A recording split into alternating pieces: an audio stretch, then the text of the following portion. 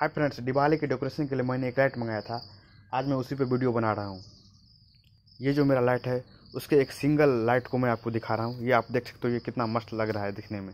इसका, इसके ऊपर जो एक स्ट्रक्चर बनाया गया है मेटल का, वो दिखने में बहुत ही, उसके अंदर जो बल्ब जलता है और उससे जो लाइट निकलता है तो वो दिखने में बहुत ही अच्छा लगता है।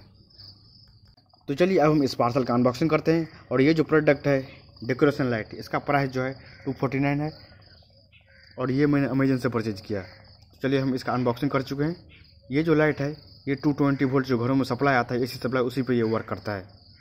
और ये दिखने में बहुत ही अच्छा है, आप देख सकते हो। बल्ब के ऊपर जो स्ट्रक्चर लगाया गया है मेटल का, वो गोल्डन कलर का है। और ये इसका जो वायर है, वो भी बहुत ही अच्छा है।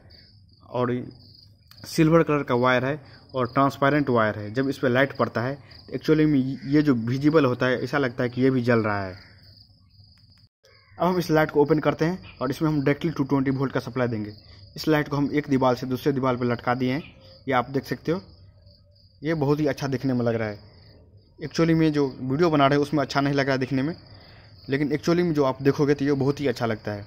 चलिए मैं आपको इसका एक सिंगल बल्ब दिखाता हूँ। जब इसके अंदर बल्ब जलता है और इसके अंदर से जो लाइट निकलता है इसके होल से तो ये दिखने में बहुत ही अच्छा लगता है। ये आप देख सकते हो। मैं आपको इसके नज़दीक से दिखा रहा हूँ। मेटल स्ट्रक्चर का हार्ट शेप होने के कारण इसका जो विजिबिलिटी है, वो और भी अच्छा हो जाता है। ये दिखने में और भी अच्छा लगता है। आप चाहो तो इस लाइट को अमेजन से परचेज कर सकते हो या फिर आप अपने लोकल मार्केट से कहीं से भी परचेज कर सकते हो। और इससे पहले भी मैंने डेकोरेशन लाइट पे वीडियो बनाया है। आप चाहो तो वो वीडियो भी देख सकते हो। उस वीडियो का लिंक इस वीडियो के डिस्क्रिप्शन में मिल जाएगा। आप वहाँ से जाकर देख सकते हो।